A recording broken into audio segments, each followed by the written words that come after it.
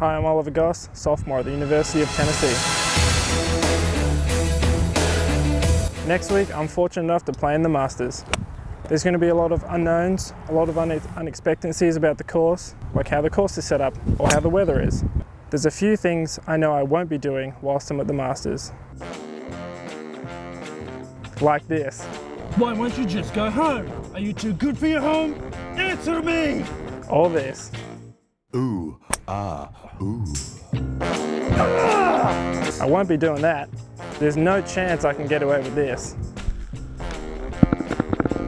I'm sure I'll be escorted out if I try to do this.